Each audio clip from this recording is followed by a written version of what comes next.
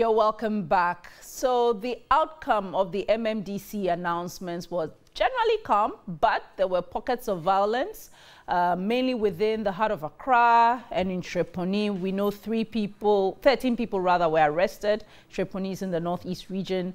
Um, also resurrected uh, was the criticism of government over a lack of representation and a commission district for the people of Sal, as well as whether the case for the election of MMDCs on a partisan basis is now, you know, more relevant and stronger than ever.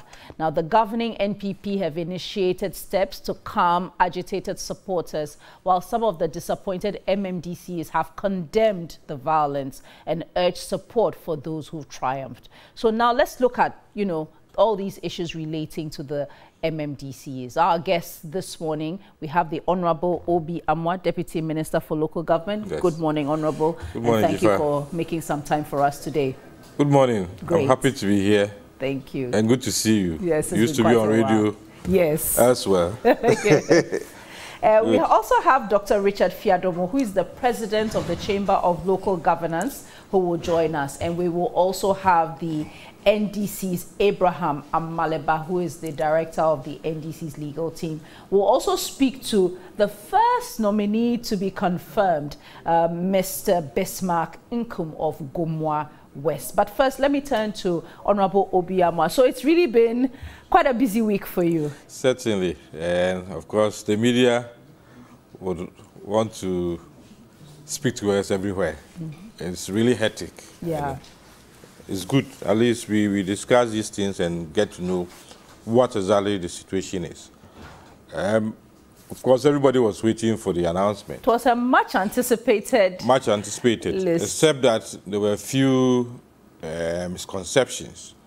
You hear most people saying that um, it's taking the president nine months to be able to appoint um, the MMDCs. Mm -hmm. That is actually not the situation because MMDCs are appointed for four years until they are removed or they die or resign, as provided in the Constitution Article 243 uh, 3. So for the tenure of MMDCs, it's four years. But the president has the right to take them out or they can resign. So most of the MMDCs were really appointed between June and July. So if the president says that um, you should carry on to maybe their tenure is over. Then you cannot say that they should start from January. Unlike um, ministers, those in the executive, uh, which is listed under the Presidential Transition Act, who were supposed to leave office um, literally by midnight 6 January. So come 7 January, I was no more deputy minister. But for DCs, they could continue because the I have a copy of it here so that we all. Yeah. We have this Presidential Transition Act, um, Act 845. And under the schedule, um, based on Section 14, a list has been provided of those who have to leave office by 7 January. It doesn't include MMDCs. So if you are if you are appointed June 2017 as a chief executive, the president could let you run your full term, and that will be June 2021. So it's after June 2021 that we could say that if your term has ended, the president should replace you or reconfirm you, or uh, as he did, ask that some of them to act to yes, but that is the issue. If you ask some of them to act, then it gives the view that then they are no more in the firm capacity to undertake certain activities. They can't take major policy decisions. So if I was appointed in June yeah, uh, 2017, and your and term ends, ends in, in June 2021, yes. yes. I, but yet the president until you're replaced. Yes. Or you but are, yet the president are, writes and says, don't take any policy decision until well, not, the not appointees really, are done not really policy decisions. But the point I wanted to make was the fact that we should not start counting from January. Okay. We should look at the specific issues. When did the person come into office? Some May, some June, some July. Mm -hmm. Some even came in 2018, 18, yeah. which means that they hadn't even run their four years. But so if we put that in context, it will not be that the, after all, in 2013, President Mahama appointed his MMDCs in July. When he came into office in January, because he was he allowed some of them to run their term. Those who appointed under Professor Mills, and Professor Mills appointed some of them March, April. By July 2013, President Mahama appointed. These things we have to find a way of um, streamlining them, streamlining them because um, they seem to be a bit confusing. Yes, but there are some inconsistencies. But the constitution is very clear that your tenure is four years. Four years. So irrespective of when you start. Irrespective of when you start, irrespective of even the president in office, except that the president can remove you. Yes. So he comes into office and decides that uh, you haven't served four years, but I have the power to remove you and takes you off. Mm. So if you put that in context. What would be the way to streamline it, as you say? Last week we had Dr. Fiadomo and he will join us today. But one of the things he did say was we needed to have proper uh, legislative guidelines yes. that you know provides guidance in how these things are done. Is that something the local government ministry will be looking at going forward? Well, we have the guidelines in the Presidential Transition Act the MMDCs are supposed to do their handing over notes with ministers, etc., six months before elections. But when it comes to leaving office, it, they are not listed under the schedule as those who should leave by 7 January, meaning that it's recognized in the Constitution that you can run your full term, just like a member of parliament, except that ours is guided in a way that... It's uh, coterminous with the president. With the presidents which is not the case with MMDCs. Mm. And probably there's a reason for it, because the Constitution also says that the elections for um, assemblies should not be at the same time as elections for uh, president and parliamentary candidates. There should be a gap, minimum of six months. So probably there's a reason for it. But what I'm saying is that um, if you look at the Act itself, it provides for some of these things. The way forward probably will be election for MDCs. That one we know when you were elected, and the law will provide for when your term will end. But if you leave it that four years, but the president can remove the person before the, the tenure is up, some of these things can happen. And then when there's even no fixed guys, guideline as to who should take charge of the assembly when the tenure ends, then you see that there's a lacuna, there's a gap which has to be filled. So obviously we can still fine tune the legislative. Um, um, um, Within the legislative context, context, that we have now, yes. to at least know that this is the way we should go. Yes. I, I, I, think that this is one of the few times, or the first time really, that these issues have been thrown up significantly about the tenure, what yes. the MMDCs are able to do. Part, part of it is lack of understanding of the, the the system. The system, the, the, even how the leg legislation has been couched. Part of the problem. You listen to people, you see that they have not taken uh, special, you know, made special attention to the legislation. The Presidential Transition Act. Act. That is part of the problem. So everybody thought, hey, once the president is, is in in January, a few months, a few weeks, he should start announcing uh, MMDCs. But he has the leeway to let them run their course and he has more time to decide who should run the districts. Mm. Now, you talk about the president having some leeway, yeah. and so he should not be in a rush because their term is not coterminous yes. with his. Yes. There's criticism of this recent process yes. that the president has taken his time because he wants to make a case for change a case for change in how MMDCs get into those positions, and right. that is through election. Well, the president, because obviously, yes, he has the right to appoint. Yes. He has the right to hire and fire. Mm. But then, even if it's three months or four, for a second term, mm. there's a criticism that that could have been better the, the managed. president has not hidden his um, agenda as far as is concerned, MMDC should be elected. Indeed, when... On a partisan we, basis. On a partisan basis, we come there. Yeah. In 2017, he said he thought that was the last time that he was appointing MMDCs. He's made it clear that he thinks that the way forward is to get MMDCs elected.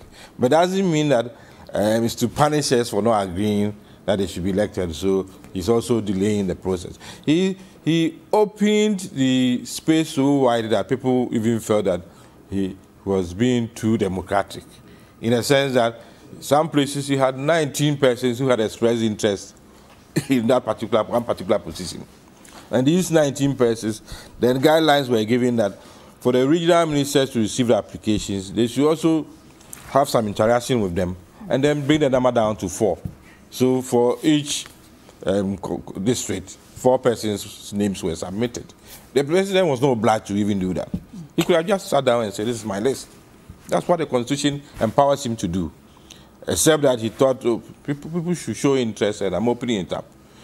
And some of the issues we can even look at is if 19 persons applied and then let's say 15 were cut off, the followers of the 15, we didn't hear anything about being disappointed or being rejected.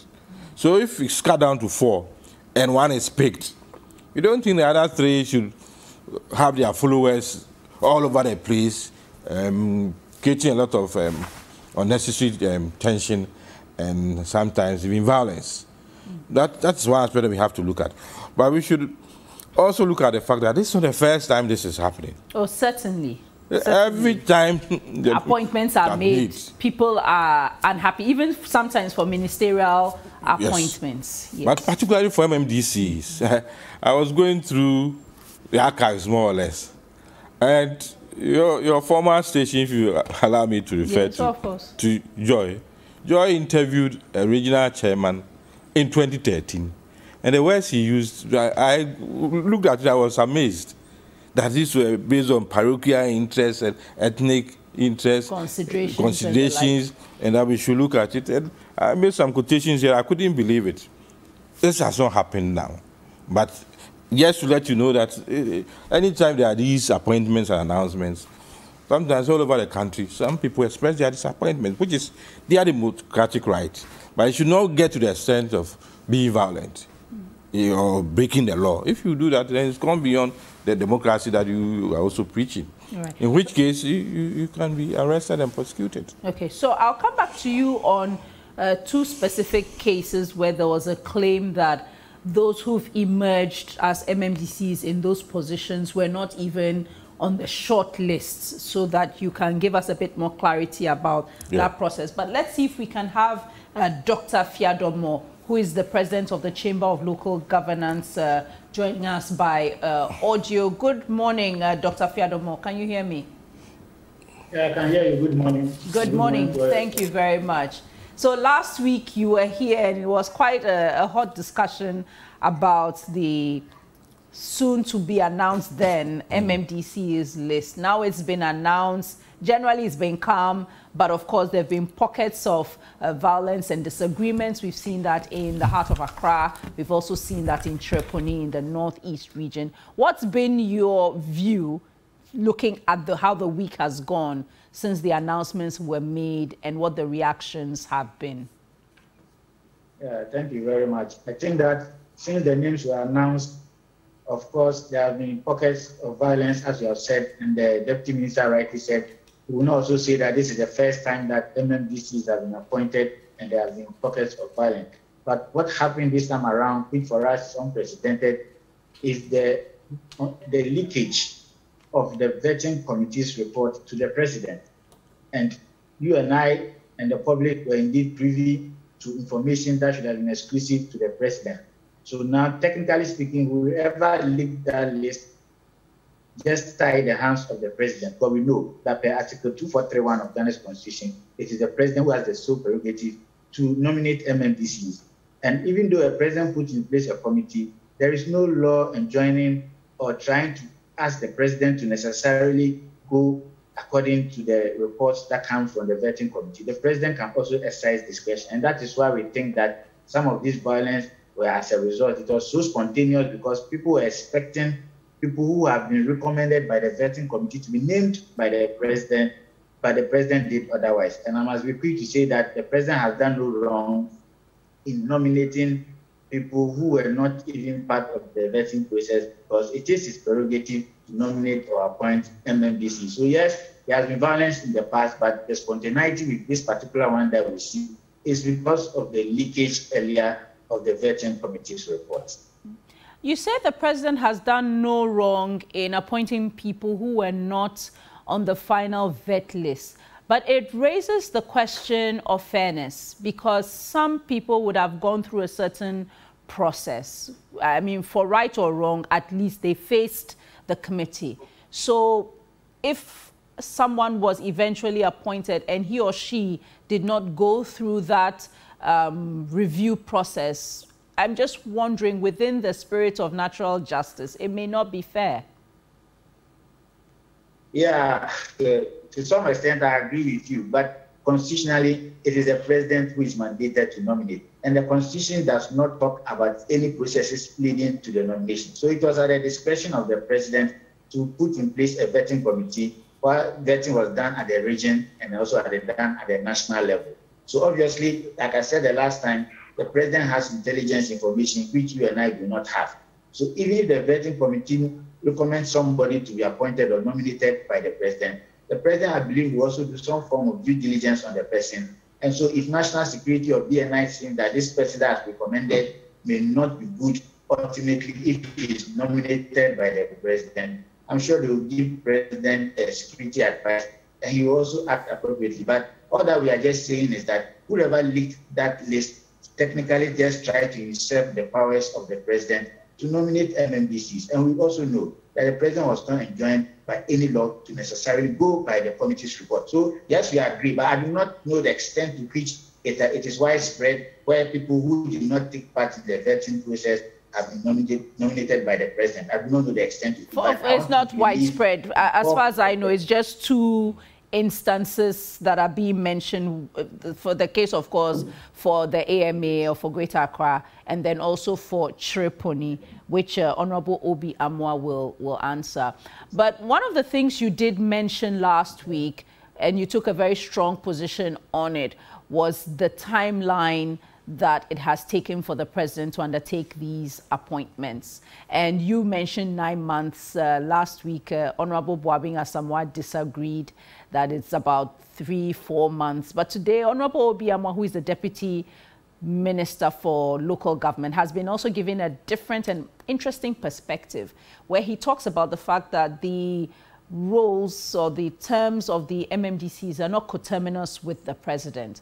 And that even if he is not fully in office. They remain in office until their term ends. The fact that they may not be allowed to take policy decisions, it's neither here nor there. So they remain in their positions until their term ends, and then he can take his time to make these appointments. And he refers to the Presidential Transition Act that gives that leeway to the president. What are your thoughts on that? Yeah, thank you. I think this this has been a, a, a consistent information coming from the government and will not begrudge them. But as far as we are concerned, and I heard you trying to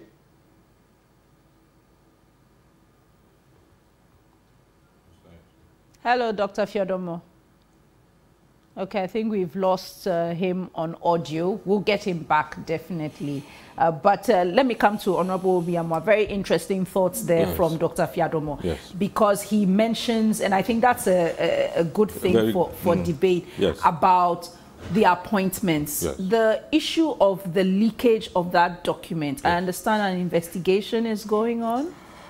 Well, obviously, we, we, we will have to find out um, why that document came out, even though it doesn't mean that I I confirm that that is the, the document. That is the document, yes. sure. But the media more or less uh, engage in speculation at a certain point because different lists came out every time. Different lists were being churned out by various stations at every time. And we were wondering whether these were indeed authentic. authentic. And of course, some of us knew that some of the names that they were putting out were, were not the names to be mentioned. But of course, the prerogative is the president uh, for him to announce these names.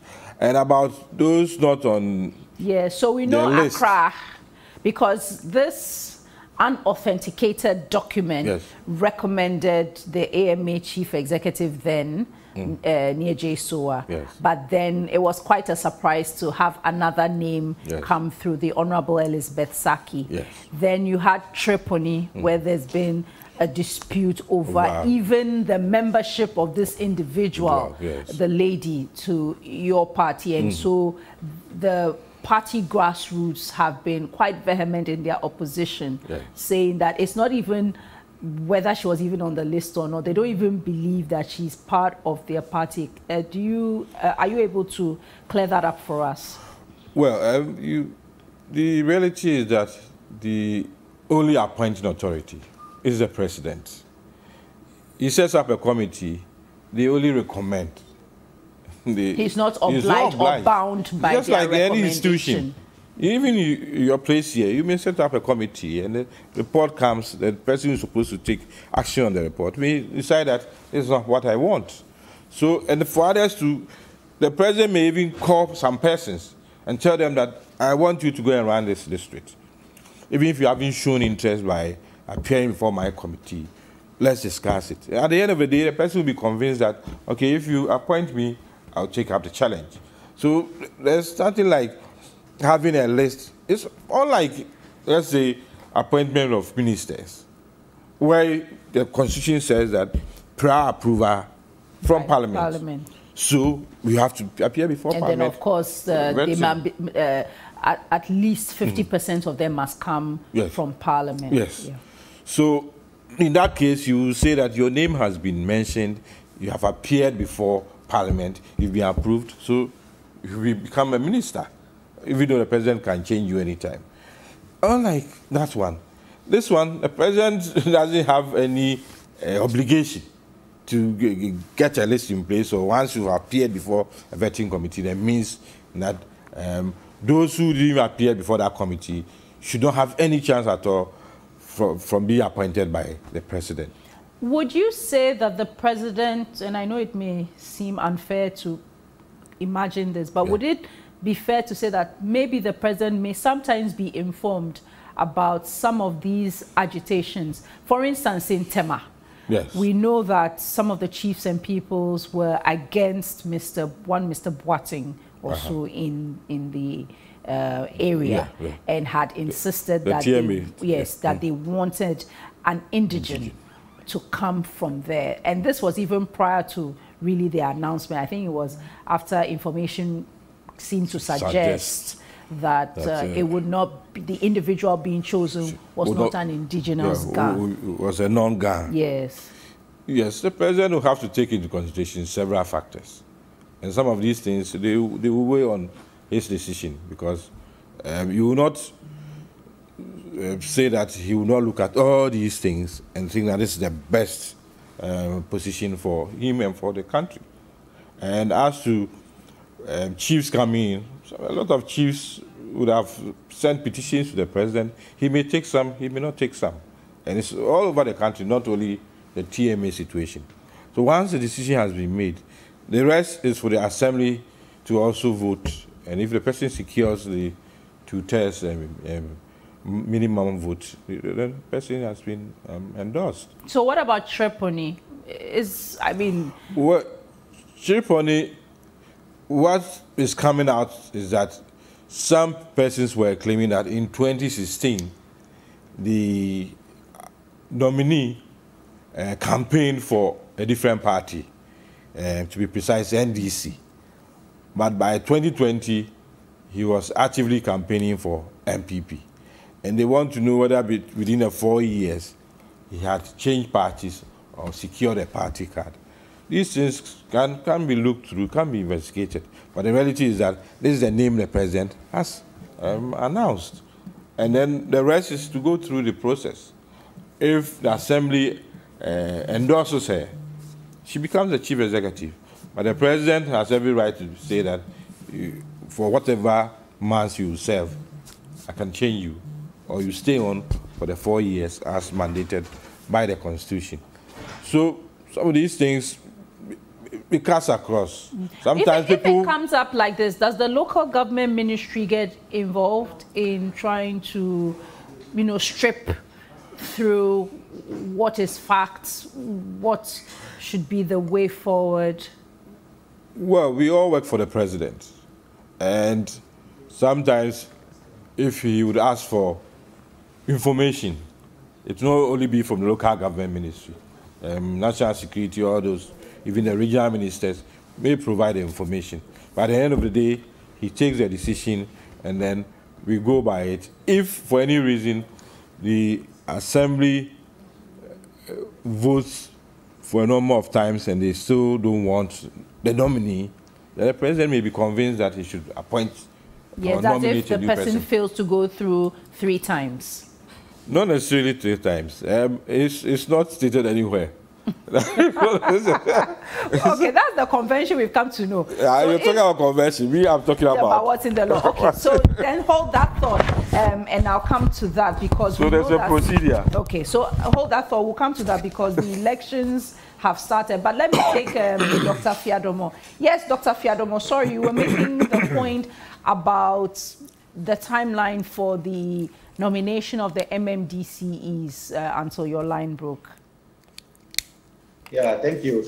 I was basically saying that it has been the chorus from government and government spokesperson that the delay is not nine months. And I heard the minister talk about the fact that the position of the MMDCs are not coterminous with that of the president. And so clearly they are not part of the Article 71 office holders. Now, and so what was the basis for the president writing to the MMDCs on the 11th of January, asking them to move from substantive position into acting position, where he made direct mm-hmm. reference to the Presidential Transition Act. So, what was the purpose for that? So, I do not understand why my term of office is not coterminous with that of the president. I have not finished serving my term, like you rightly said. All MMDCs are supposed to serve four years. Of course, they can be removed by the president, they can resign, or if there's death, or the General Assembly by two-thirds majority present and voting can also you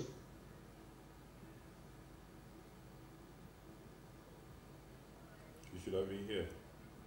mm, unfortunately, the line is not our best friend today, so I hope that uh, we can fix that. Um, Honorable Amoah, so the elections of the nominees have started. Yes. Um, what's your outlook for that? Well, a few started yesterday, and so far it's only Yendi that we've heard that the person did not get it, minimum yes. two tests. Yes. And for other places, the persons have been endorsed. Yes. For some places, so 100%. Gomoa West District. Well, uh, and then Yaja Dawuni Robert for Gusho. Yes. Yes, they've been confirmed. In, he has 100%. Yes, in Ashanti region too, I think Pima or Yaja, 100%. And most of them will start from Monday. Um, the Electoral Commission has received a program from the regional ministers as to how they want to conduct the elections. So from Monday, most of the assemblies will hold the elections, and we are hopeful that uh, most of them will cross the two tests except that um, the president has the opportunity to renominate the person if he doesn't get the two tests. Okay, so you were telling me it's not three times. So, yes. Because we, those of us who are, at least have a bit of institutional memory know that sometimes if you don't get the two thirds the third time, then the president has to re-nominate. Tell us what is. Well, if you look at our model standing orders, one which was made in 2019, we had an earlier one, but the 2019 is a recent model standing orders. And uh, um, Order 15, it provides the procedure for approval of nominee of a president. So the first is where the person gets the two chairs. The EC will write to the president that these persons have gone through. Where the person gets 50% or more, the, the procedure is that within 10 days, they, they can go for the elections again. Uh, the president doesn't need to say that I've re-nominated him within 10 days.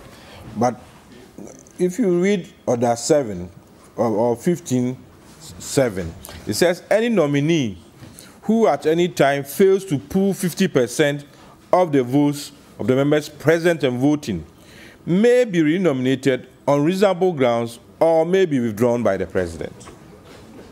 So it's not automatic it's not written anywhere that the president um, after three times, but it's only uh, reasonable. That you give it some time. Yes, especially if, let's say, the person pulls 10%. Or maybe the margins are small. Yes. No, I mean, if the person's um, the vote is very low. Low, okay. The president may decide that uh, this person cannot go through. Okay. No matter okay. how many times, times they contest. Yes. Mm -hmm. So let, let, let, me renominate or let me nominate another person. Mm -hmm. But if it's close, the president may say that I'm sure after still talking to the people in the assembly, this person may go through. So let me submit his name again. That is the third time. So as I said, it's not that by the third time the president has to, as you put it, has to means that he's obliged. Mm -hmm. Sure. But this one is may. May. May withdraw or may renominate. Nominate. That's, That's how what, we should look at it. All right. We have on the line now um, Ms. Honorable Basi Nkum. He is the Gomoa West uh, District Chief Executive. Uh, he joins us on the line. Good morning to you, Honorable Nkum. I can hardly hear you. How are you, sir? I'm good. Great. The, if you can just speak up a little bad. louder. So, congratulations are in order. Congratulations. Thank you very much. Thank you very much. All right. So we're told that uh, you are the you were the first kind of to be approved by the Gomoa West Assembly in in line with all the election in line with all the processes that have begun, but we know that a lot of it will start on Monday. So first, getting through, was, were you optimistic you were getting through or you had to kind of lobby the assembly members to be sure you would go through? Thank you. Good morning to your listeners, your listeners and uh, let me first of all express my appreciation to His the President who gave me this opportunity. And let me say that the president in his first term also gave me the same opportunity. And in my own estimation, I think I did a very good job. So mm-hmm. I was always expecting that if the criteria for renomination is based on what we have done, then I will not be satisfied, and that is why I'm happy that I have been nominated. So I knew this was, was coming, and so I have been working on uh, my confirmation in the past three, four months, engaging chiefs, engaging assembly members, engaging other stakeholders, and, and making sure that we, we were good to go as soon as the, the, the, the, the nominations were announced. And so, yes, we were even going to do this on Tuesday, but unfortunately, Tuesday was a holiday, and then we needed to wait and communicate again on Wednesday before we could do it on Thursday. So I was very, very optimistic that the relationship I have kept with my assembly members, the work I have done, and all that, uh, if they were going to be very objective, then they were not going to fail the president by voting against his, his nominee. I was also very optimistic that I was not going to make 100% because I have been in office before and uh, I have taken decisions. And normally, as a leader, you take a decision in the interest of the greater good of the people. And you always have the minority view who will not be happy with you. And so, yes, I knew I was going to sail through, but I also knew I wasn't going to get 100%. So I am very, very much comfortable with a 75% endorsement also. All right. Now, one of the things that people look out for at the local governance level is accountability to the people because there's a view that you're almost uh, really mini presidents in your in your district. How are you going to ensure that you are truly accountable to the people that you are serving, knowing that there are lots of interest groups. There's the member of parliament, there are the things he wants to do, he or she wants to do as well, and there's the agenda that you're seeking to push through uh, for the president. In fact, that is what I have been doing, to be accountable to the people also calls for greater engagement with the people, with stakeholders at a very local level. And, and that is what local government is really, really uh, about. And so uh, almost every quarter of the 78 communities within my jurisdiction. I am able to visit all, I'm able to engage chiefs, I'm able to engage from the very least to the very highest person in our, our community. So this is what you do. Once you engage them, they have questions, they ask, you also respond to the person. But you don't also have to do direct engagement. That is why the assembly members are also there. Uh, you communicate to the localities also through the assembly members. So yes, uh, that is that is what local government is about. So if you ask me, it's just about having the regular encounter with the people, giving them the opportunity to ask questions, giving them the opportunity also to make an input. In fact, in terms of the budget preparation, your budget wouldn't be approved, for example, if the if the, the people at the very local level are not made to participate in the process. And that is why there's what we call budget hearing. In terms of the preparation of the, the medium-term development plan, you can't do this without engaging the area councils, without engaging our market women, without, without engaging our fishermen, without engaging other interest groups within within the district. And this is what what uh, I do. It, it's my it's my routine uh, duty, and so that is it. This is how we will be accountable to the people. Now, the there's the um, local government service, and they sign a performance contract with uh, MMDCs. They release. To be honest with you, I am struggling to hear you. Okay, i will try. Hard from my end to hear you. All right, I'll try to speak up a bit louder.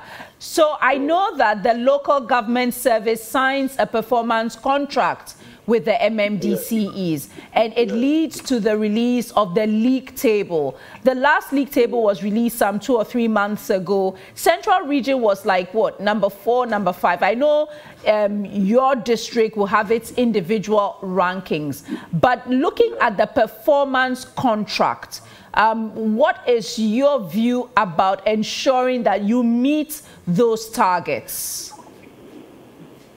So yes, the, the performance contract, the, the, the KPIs, which is the key performance indicators, are also taken from our own budget. So to ensure that you hit the target is to operationalize your budget with the timelines that you have granted. And once you are able to able to do that, then you are likely to achieve your target. Let me say that when I assumed office as district chief executive, for example, the same district table at the time we have 215 metropolitan municipal and district assemblies. Gomoa West was occupying the bottom, the, the bottom. That is 216 out of 216. If you look at the recent one that was released, we have climbed up the ladder to 147. Obviously, there are things that we are doing well. If you take education, for example, uh, in 2014, the, at the basic level, the pass rate was uh, 30, 35%. 2015 pass rate was 37%. And then in 2016, we did quite well. Pass rate was 52%. In the last four years, we have grown the pass rate now to almost 70%, specifically 69.6. What we are working on is to ensure that in the next four years, we're able to get 90% pass rate. What it then means is that our children who graduate from the basic level, all of them will now have the opportunity to go through the senior high education and indeed to meet the aspiration of His Excellency the President and as a country that we want everybody to be out of the illiteracy bracket. So this is, for example, what, what we are doing. Uh, for, we also undertook other projects. The attrition rate of teachers in the in the district was very, very high because this is because teachers were not getting decent accommodation. Uh, if they were able to get one, it was difficult for them to have access to bathrooms. It was difficult for them to have access to kitchens. And so you normally find that uh, they will normally try to use themselves in the, in the, in the public space, whether bush or whatever. So we decided that we we're going to have a lot of teachers' uh, quarters around the place. So far, in the last four years, we've been able to do about five five or six. The initial plan could only accommodate three teachers. Now we have changed that and it is now accommodating six teachers. So these are the things that we, we have put in place. In terms of water, provision of water, we had a whole section of the of the district that struggled to get water, involving about 10 communities. The, the district assembly, liaising together with the World Bank and the Regional Coordinating Council, we were able to provide water to these 10 communities, and uh, now, thankfully, all of them have access to, to, to water. In terms of security, in terms of security, our district is rated the best in terms of uh, security in, in the region. So I am quite optimistic that we have done very well and we will continue to do what uh, we need to do. We, we are not perfect yet. There are, there are still room for improvement, and that is what this term goes for us to take advantage of opportunities available and be able to meet those uh, performance contracts, especially the key performance indicators therein. All right. And thank you very much, uh, Honorable Nkum, for speaking to us. Uh, we wish you all the best in your new role. Thank you. Thank right. you. And it is good to know that as at uh, Thursday, I was the only district chief executive in the country. yes, yes, and that's why that's why we, we've spoken you, to you this morning. I'm sure we'll be engaging in the days and months ahead. And that's uh, Honorable Nkum yeah. there. Uh, clearly, he, he seems to understand and, and know his stuff in terms he, he of failed, He failed to inform you that he's the president of NALAG. NALAG, ah, he's the president of NALAG. Okay, yes. great. So you're optimistic that a lot of the MMDCs will go through? Yes. Uh, do you have a projection? Are, are you able to anticipate areas where you know that maybe there will be no success and so well, you have plans for that? Well, it's a bit early, but we should also uh, take into consideration the fact that there are some assemblies where the our friends from the other side dominate. Mm. So sometimes it, it impedes the smooth um, endorsement of some of these um, nominees. Mm. Except that some places too, they've come out, even though we appreciate that they dominate assemblies, they've come they, out. They've come to generally support yes. whoever has been nominated. Yes. Uh, but it's too early to maybe give you a picture that maybe 80% will go through. Mm. We are hoping, uh, after all, one, two, eight of such persons were renominated. And we're hoping that um, they are familiar with their assembly members, they know the work they've done, and all things being equal, they will give them the pass mark. And for the new ones who are coming in, um, some are very popular, some people are hailing the appointment by the, by the president. So we also believe that they should uh, sail through. Obviously, it will be um, a bit op optimistic to think that every assembly will endorse the. Oh, certainly not all the 260, 60. but maybe you can say what? Maybe 200, 230. I don't want to be quoted. that you come back and say that you you said 230, 230 and now, and now, now it's, it's 100. I get but, that. But they are working. They are appealing to assembly members. They are going to them, and um, the easier ones will be done with within maybe 10 days. Mm -hmm. The more difficult ones, maybe there will be more consultation. Before, before the process begins, begins, just to ensure sure that, that yeah, the individual through. goes through. Yes. All right, we have some tweets, and when I come back to mm, you, yeah. um, I'll ask you about what the big agenda is going forward for uh, election of MMDCEs. But let's let me read some of mm. the tweets that have come through. It says the issues about the rioting NPP folks is about Adidija, meaning some supporters have been left hungry. I'm not a doomsayer, but I can say that we should expect uh, some more of this uh, in the days ahead as effort is made to get approval. That's from Prince Henry in Koforidua. Farouk from Tamale writes, uh, Good morning. It would be good if stakeholders can agree on the election of our MMDCEs to strengthen our democratic dispensation at the local level and to curb the unnecessary agitations among party supporters. Farouk, you didn't say specifically if you were just looking for a general election or the election of MMDCs on partisan basis. It would be good to hear your view about that. Um, as Aziz from WA writes, the disappointment in some parts of the country is a manifestation of the poor governance uh, by the government. Indeed, the rejection of the Yendi MCE shows that the president didn't work with the committee report.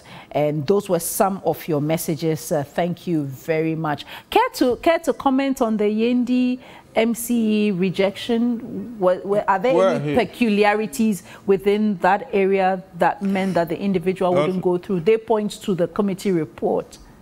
Not necessarily. I think he was renominated. Mm. So he's an incumbent. And for these things, sometimes um, some persons may be dissatisfied with how he ran the place. Some persons will think that he should carry on. And he's gone through the first one. We're hoping that um, he will still do more uh, consultation. So, so that, that, the second one will, will yes, go through. and All that right. should be it. Okay, let's speak to the head of the NDC's legal team, Abraham Amaliba, who joins us live now. Uh, good after, good morning to you, uh, Mr. Amaliba. Many thanks for speaking with us. So now that the MMDCs have been appointed and the list has been made public, uh, what does the NDC see as the way ahead in terms of local governance? Good morning, Joshua. Your question is what, what is the way forward for who? I'm asking, what do you see as the way forward for local governance now that these MMDCs, after quite a long wait, have been appointed? Well, better late than never. Um, this has taken so long in coming. Um, the assemblies were without uh, MMDCs for close to nine months. But, but Honorable Amoah, Honorable Amoah has addressed that that their role is not coterminous with the president based on the presidential transition. They have a four-year term and they were just waiting out their term in as much as they were not taking key policy decisions. They were administering the assemblies nonetheless. Perfect. The government yeah, disputes there, there that position. The tenure of office ended four years. And so you had a situation where uh, those assemblies uh, were without DCEs and um, but why do you say they were without DCs? They were acting. Why do you say they were without DCs? They were acting. No.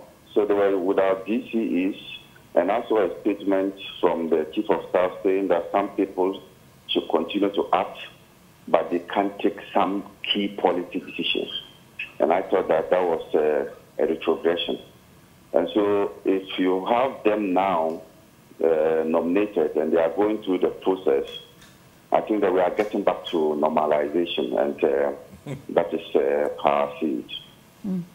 Now, one of the things being said is uh, the president still has on his plate to try and push through the agenda of the election of MMDCEs. There's a view that this recent uh, appointment process has made stronger the argument that we have the MMDCs elected on a partisan basis so that we don't also see some of the agitations or disagreements. The election will be done, whoever triumphs comes out of it, and we move on. We cannot use the inability of the president to appoint MMDCs as a reason for calling for Uh, the politicization of our lower strata of our governance. I don't think that the inability or the lack of capacity by the president to do this nomination is enough to then politicize our lower structures. Our lower structures are places that you would expect that you will not politicize those structures. And then at the district level, you have all people, irrespective of political divide, can approach the district assembly for your needs. Now, you have a situation where people are calling for the politicization of that structure.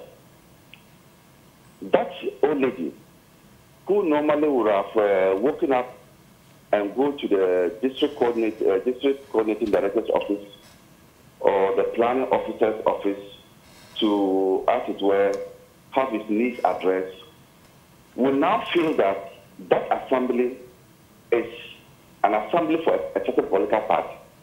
and that when he goes there, he will not be listened to.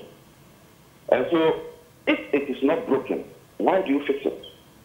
The president's inability, in this case, to do this appointment without any hiccups was as a result of his own method used in appointing the DCE. The president is the sole appointor of this DCE.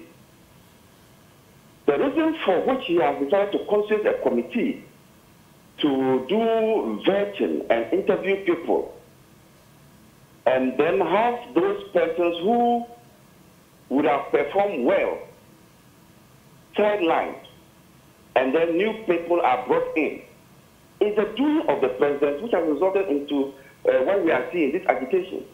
But Mr. Maliba, I, I, think I think it may seem unfair. Hold on, sir. Hold on, sir. Just a quick point. It may seem unfair to say that it is the process the president adopted. What's wrong with being consultative? What's wrong with being a bit more thorough than maybe he may have been in the first term? So that's where I'm coming to.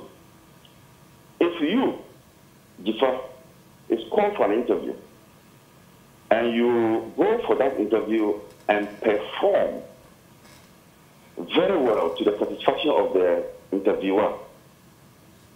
Now, you, the person who has gone for the interview, would have a legitimate reason to expect that the job will be given to you. You have that legitimate expectation. Particularly when a list has already come out indicating that you were the one who was chosen. These people have their followers. Naturally, when the disappointment comes, after you've been slated or you've been selected after the interview, clearly people will vent out their frustration. So I'm saying that it is the modus operandi, the method used. What stopped the president from saying we have 100, we have 250 uh, uh, district assemblies. Each week, we're going to use nine months, and uh, this method I'm, I'm, I'm, trying to outline will also not be uh, far from the nine months. We use nine months to do the appointment. What stops him from, say, using each week to deal with, say, 10 district assemblies? It's not in his attempt to appoint those people to the assemblies. Why would he then constitute a committee? That committee does its work. People have legitimate expectation because they perform well, and lift him out, and then you would think that you will not have these agitations. These agitations were brought upon by the president's own method of choosing the assembly, uh, the MMDC. Okay. All right, uh, uh, Honorable yes, I, I, need to respond. Yes. I think that uh, my good friend has not really appreciated the issues. For instance, President Mahama did not appoint any committee as far as we are aware. But there were agitations after he made the announcement. It wasn't based on any list. A whole regional chairman of Greater Accra, Ade Coker, said that it was the narrow interest, ethnic base, etc., etc., and that he should look at the list again, and that they have even submitted a, a position to him that he has to That was consider. in 2013. 2013. And was that based on the list? Secondly, he's talking about inability. President Mahama appointed his uh, or nominated the MMDCs in July. He was in office in January. Was that inability? When he had taken over from Professor Mills in um, 2012, uh, uh, yes, about six months to the elections. So he should appreciate these things very well before he comes out this way. Otherwise, um, he contradicts himself. Obviously, he's against election of MMDCs. Mm. We can come to that. Yeah. I would state my position strongly so we need he, to elect MMDCs. Okay, so he, he talks about the election of MMDCs yes. on a partisan basis yes. being a danger at the local level yes. because as we speak, ordinary people may not feel. As we speak, literally every DC has his political roots. There yeah, some, they have a constituency or a, no, a there are, no, there are some who are party officers who have been nominated to become chief executives. Are they not partisan? Ah, but this situation is only one party. I mean, if you take even my constituency, the, the most interesting thing about it is that the presiding member in the assembly in my constituency is the constituency chairman. He won his electoral area elections, came to the assembly, and he was elected presiding member. He's still the uh, chairman of NPP in the constituency. So, so, your, so, your, view is that a lot of the assembly is constituted by a lot of elected officials yes. at the political party level. Yes. So really, really what you, are we what are we hiding? So whether we elect on a partisan basis, it doesn't de deviate from what we have now. His argument is that the old lady cannot walk to the office of the chief executive because we have been nominated by a party. And, and she may not be a member of that party. I'm saying that Isn't even that my, a real danger? No, even my, my chief executive has been renominated. He was the second vice chairman of the party. And he served four years. And so, he he's, so he's a known party he's individual. He's a known party individual. Doesn't mean that people don't go to go the assembly to or those who go to the assembly are only NPP members. We have to be realistic. All across the world, people vote on partisan lines to elect their chief executives. Mm. Now, the, the irony is that even the unit committee members are elected. Assembly members are elected, but chief executives are not elected.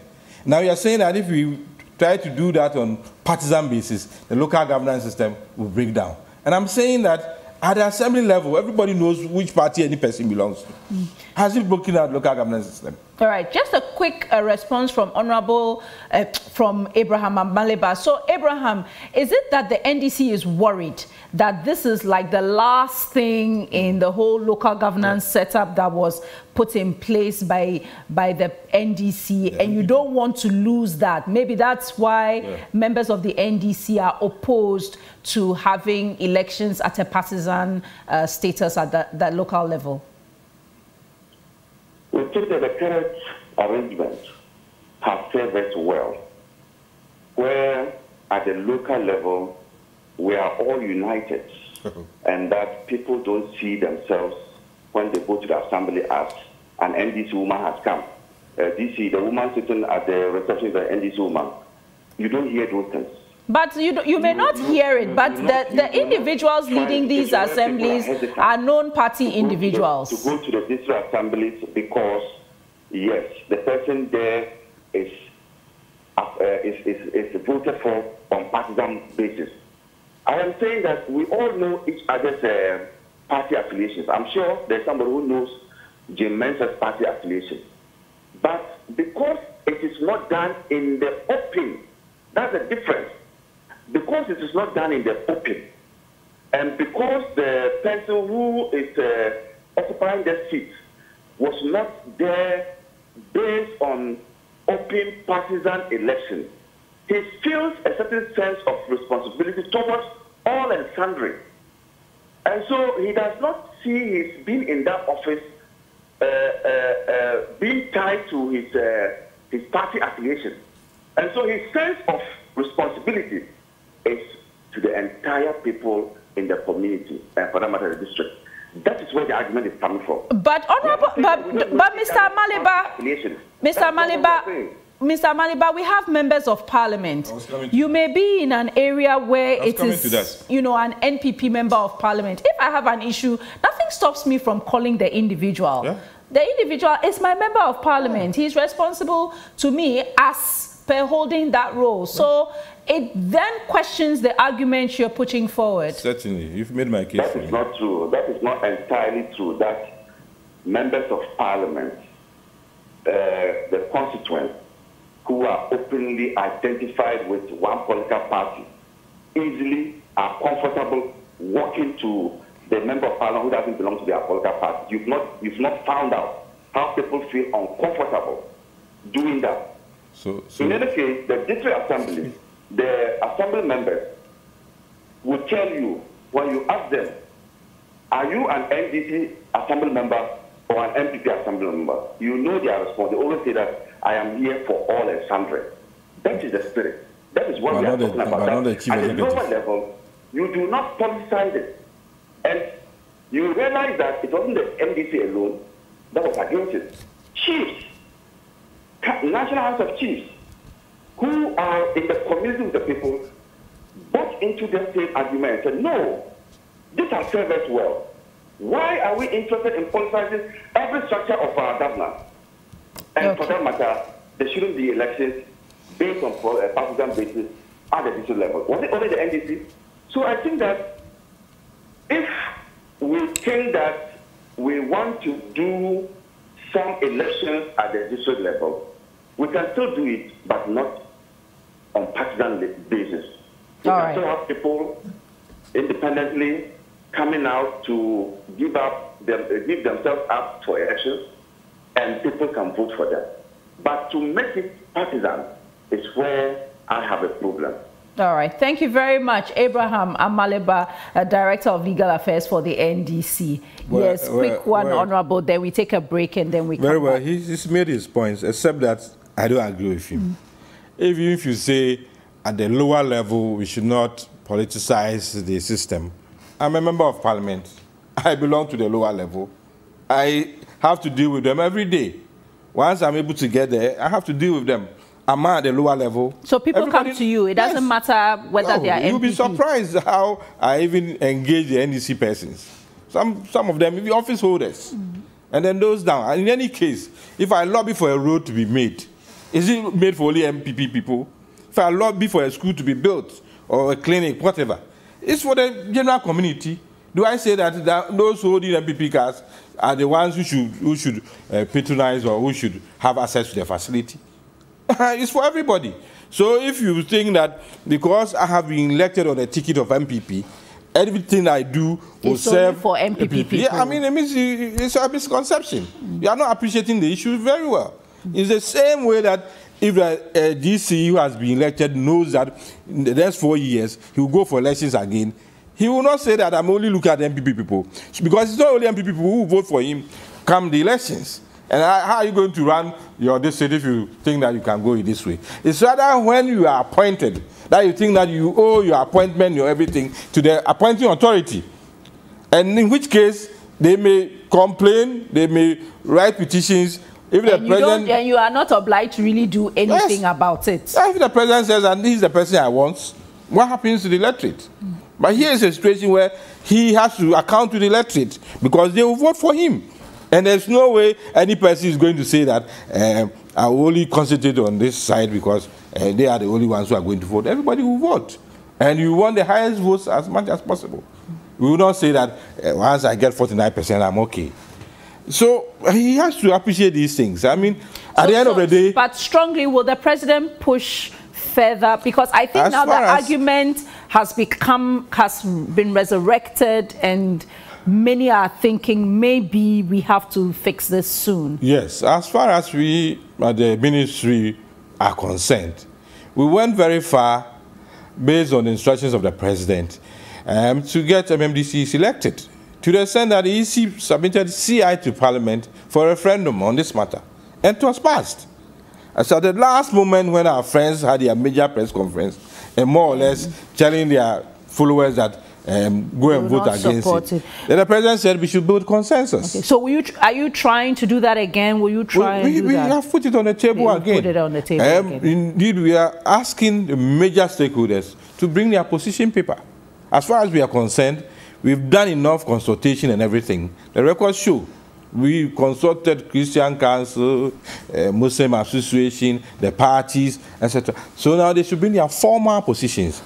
He referred to the chiefs. The chiefs were rather worried that if we scrap the appointment system, we scrap the government appointees in the assembly, that means that they may not have a say or a nominee in the assembly because based on the 30% representation, they are get a role. Yes, Yes. That is what was their so that's something to look at to look going at forward. because their, their their position was. Are you scrapping that uh, 30% uh, appoint, appointee system? If you are scrapping it, how do we get involved in the system? It's something that we really need to look at. So there's still work to do, but I think that eventually he ended up by saying that we should do the elections, but it should not be partisan. It should be independent. All right, so the, the jury is still out on that. We take a quick break, and when we come back, we'll talk a bit about SAL.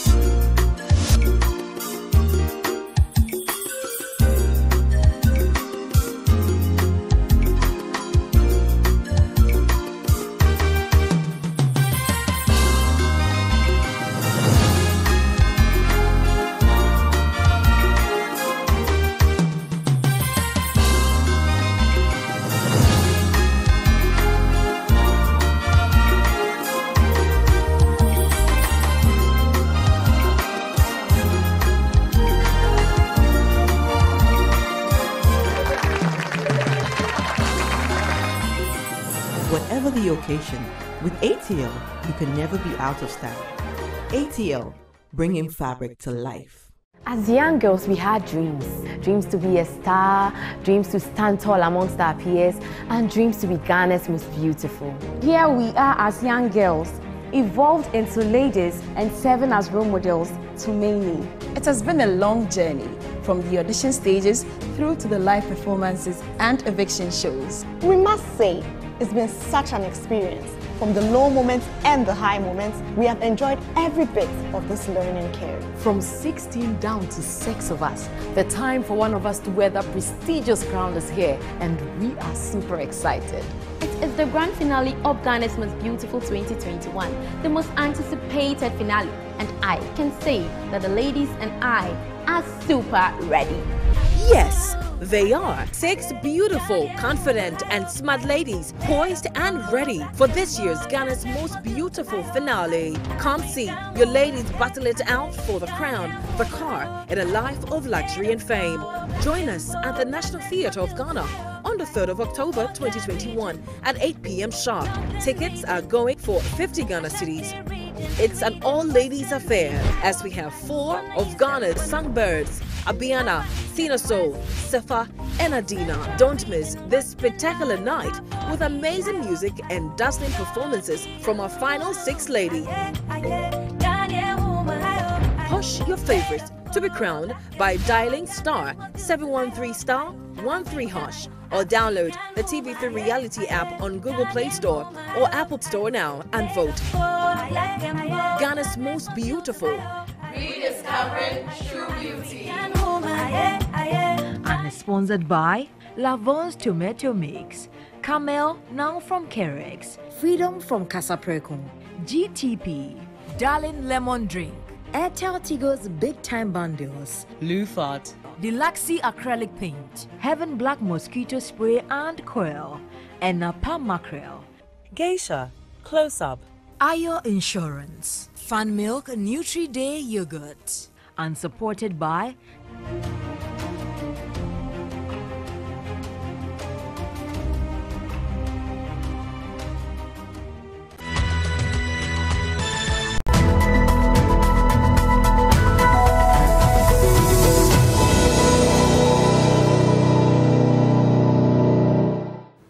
You're welcome back. And some of you have sent your messages. Let's take a look at them. Uh, this one says the general silence in Ghana upon the announcement of the MMDCEs is an indication that His Excellency the President is a man of wisdom. And that's from Suleimana uh, Damba from Tamale. Uh, this one from Johnny at Sunyani says, I disagree with Honorable Amoah that the MMDCs should continue to be in uh, continue to be in office because they were not appointed in January like the president. So is he telling us that if the government is out of power, the MMDCs will continue to be in office until a new government is put in place? Well, Johnny, that happened in the case of the NDC when Professor Mills uh, came to office. So it's not exactly unusual that they would continue in their role until things change. Uh, this one from Ismaila Ali says, please ask the honorable member uh, then why tell the MMDCs uh, to act if their tenure has not ended? I think that issue hasn't been cleared up. Can you quickly clear that up? Well, as far as I'm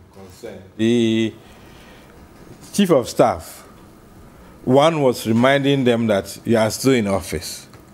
Two, the president has had his second term. He's still arranging his um, executive. So once you're there, you don't even have a minister. So don't take decision, policy decisions.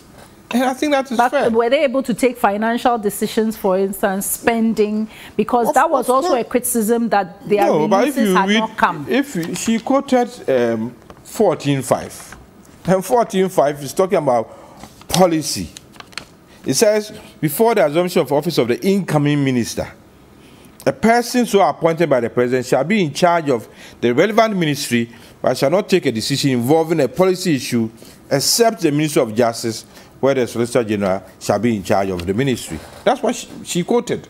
More or less saying that even your minister who is acting now, um, not knowing whether he will be the one to be nominated, has been asked not to take policy decisions. So you, at the district level, you can run the place because your time is not up, but you don't have to take policy decisions as required under the Presidential uh, Transition Act. That's how I see it. Mm -hmm. You will be surprised in May. In May, the news came out that they, all of them have been asked to go home. It took the regional minister, Accra, to make a public uh, statement that indeed nobody has been asked to go home. Mm. They have to stay on based on the president's directives. Mm. So people should just look at these things very critically. Sometimes people hear others saying it, and then, then they, they latch onto it. Yes. All right. Yes. Um, this one from Kwame says the non-partisan nature of the district assemblies has some good in it. During the last district assembly elections in my constituency, Dome Kwabenya, mm. our electoral area, a typical NPP-dominated area, mm. the electorate voted overwhelmingly for an individual who is a known NDC constituency executive. If it were strictly partisan, uh, a strictly partisan affair, he would never have won. But, but if the area is dominated by MPP and the NDC person wins, it's not strange, except that he has to work with the MPP people. Mm -hmm. You understand? Yes, but if Which, we have a partisan situation, this that opportunity may not be there. That he cannot work with the other No, people. that he may not even be elected because. Of course, he's the yes. majority. He's the majority And, I, and I, think that's the concern because in, if it happens like this in a place like Donkwabe, and I live mm. in that constituency, mm. it's very NPP. Yeah. But if but, the, but the presiding you, member is an non-NDC person. It allows for the collaborations that typically we would I, not I see. also live in Dome Kwabenya, Parakuo Estates. Mm. if you're talking about electoral area basis, mm. there may be an electoral area which is NDC dominated. But the whole constituency may be NPP uh, biased. But okay. some electoral areas, areas may, may be NDC dominated. And there's nothing wrong with that. Um, if you think that that is a virtue, if you think that that is something that is positive about it, fine, why not? We can discuss it. That's why I'm saying that some people think that for the unit committees and the assembly members, we can still let it look, let it look non-partisan because as far as I'm concerned, they are partisan. It's, it's, it's partisan. Okay, you you were telling me that maybe an approach we could adopt just yes. to start on a certain path right, would yes. be election of the mayors for the big cities. Yes. Um, so that people will know that, uh, I mean, it's nothing strange and mysterious in the sense that if, let's say, AMA is, is headed by a person whose uh, government is not in power, he can still run the place. And people should cooperate with him if they think that he's doing a good job. And for, for politics, I see it as power sharing, not winner takes all that we are all complaining about president sits in his office, he announces 260. I mean, whether you like it or not, almost 100% belong to his party. Now he opens his up, others come in. It's power sharing. Whether you are in power or out of power, you are also helping running government, and people will even see whether you, you're capable of delivering. Because stock is cheap. If at the end of the day uh, you are running who, and you run it very well, everybody knows that, yes. And even out of power, see how the person is running, running the place. Mm. And, and you will not come giving excuses that it's government which is sabotaging you, that's why you are not delivering. Your skills will show. When it comes to common fund, you have to, everybody qualifies. You don't say that uh, because it's the enclave of the opposition, I'm not sending common fund there. As we speak now, if you go to places where MPP doesn't dominate, they, the districts are headed by MPP persons. And some of them, they've run them very well. The world has not come to an end. So we should appreciate some of these things. And as you rightly said, if we think going wholesale um, will make people apprehensive, you might as well start on a smaller scale. The mayors, big cities, big towns. That's what I agree. Such places, let's do the elections. And then see how, how it Except goes. that our, our friends will complain. almost all the big cities will be dominated by by NPP people. So um, before we wrap up, sir, yeah. we need to talk about SAL, that's uh, Santo Kofi Akpafu uh, Likpe Lolobi. Yes. Now, it's emerged that they have an assembly, yes. but it's not been cons fully uh, commissioned, Yes. and then the, there remains the issue of them not having representation in Parliament. Please clear up for us. Yes, from- you, you have become a chief advocate for local governance. I'm really impressed today. Some of your sound bites, I wish I could even recollect them and then use them very well. Probably I'll ask for the tape and then pick some of your sound bites. Mm, Thank you, but sir. I would advise that as much as possible, we should not refer to SAR again. It's now Guan district. It's now Guan district. It's one Guan district. So but, let's but, they are, but the constituency, the parliamentary constituency doesn't sit there, does it?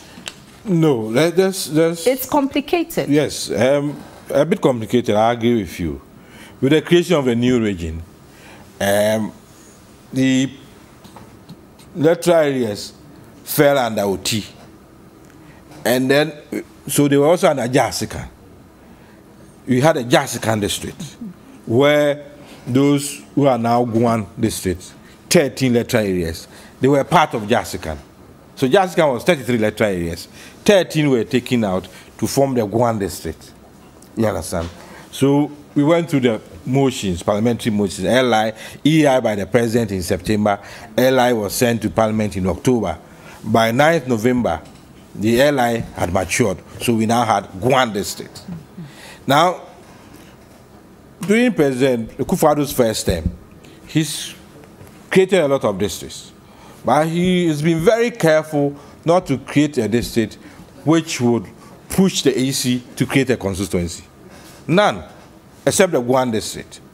The moment he created a Guan district means he has separated Jasikan. He has taken some electoral areas from Jasikan to form the Guan district. And because they also needed an MP to represent them, it meant that the EC would create a constituency for them. Unfortunately, by the time the creation of the district matured in November, that was the day that, that was the day Parliament was rising to go and campaign. So EC could not create a constituency before the elections. In their own wisdom, then they said, then you should vote for presidential, but don't vote for parliamentary. It has its implications, but that's the EC side of it. I remember very well after elections, the EC attempted to bring um, uh, CI to parliament to create Guan constituency. Some of us drew the attention to the fact that when you bring an instrument to parliament, it takes 21 sitting days. The number of days that we have before 7 January, you will not have the 21 sitting days. And whatever you do by 7 January, what you've submitted will be null and null and void. So it has to be resubmitted to in be the new parliament. In the new parliament. and is that is that on course? So let me tackle the aspect of Guan district really fully in place. Okay. We have the Guan district, we have the electoral uh, I understand area assembly members, yes. But there should be government appointees. The president should also put in the 30% as required. And then nominate a chief executive who will then be endorsed by the assembly. And once the list has come, we expect this one to also happen. But the minister, if you heard him, he is more interested in the structures. Send people there, local government service, post people there. Where would the office be? Where would the departments be? As we wait for the president to make the announcement. Because it's the same people who say that, ah, you have announced chief executive, he doesn't have a place to sit. You have announced chief executive, he doesn't have a place to sit. You have announced an assembly, you have inaugurated an assembly, there are no staff members. So all So, these so, so for you at local government, it's more about having the structures in, In place. place. before the formal ceremony of yes. announcement and inauguration and everything. Yes. Otherwise, I mean, we, But we have to now resubmit the instrument for the constituency well, to the it's- House it's, later it's for the EC. to decide when. It's for EC to submit it. But if you look at decided cases, if you create a constituency uh, within a term, it takes effect from the next term. So it makes no sense to submit it now. What, whatever time EC will submit it, it will go to the 21 sitting days if two thirds don't um, reject it. But you then say that you created a Guan constituency, assuming they want to name it Guan. But the Guan constituency can only take effect from The following- 2025. And that's what the Supreme Court has said. And So it, it makes sense. based on the decided precedents. Yes, the had. cases.